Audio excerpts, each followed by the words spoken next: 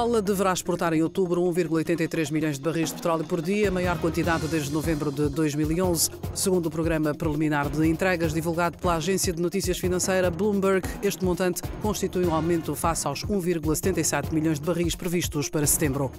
As Comissões Económica e para a Economia Real do Conselho de Ministros apreciaram a situação da Política Nacional do Investimento Privado e do projeto de regulamento da Lei do Investimento Privado um instrumento jurídico que estabelece as regras de tramitação processual das propostas de investimento privado.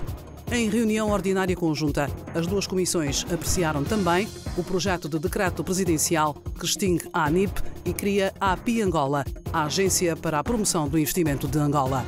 Na quinta-feira foram transacionados no mercado de registros da Bodiva 2.587 títulos em 10 negócios. O euro está a valorizar face ao dólar numa altura em que as divisas dos países em desenvolvimento, a Rússia, o México e a Malásia, estão a ser fortemente penalizadas pelos receios em torno do crescimento global. A moeda única europeia sobe 0,42% para 1,1289 dólares.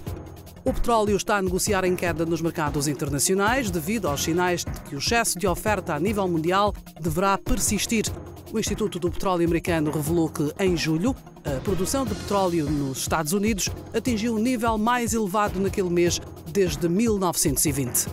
As bolsas dos Estados Unidos terminaram a sessão de quinta-feira a cair mais de 2%.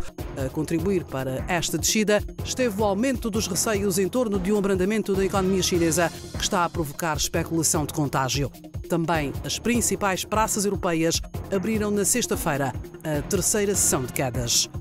Amanhã estamos de volta com mais notícias dos mercados financeiros.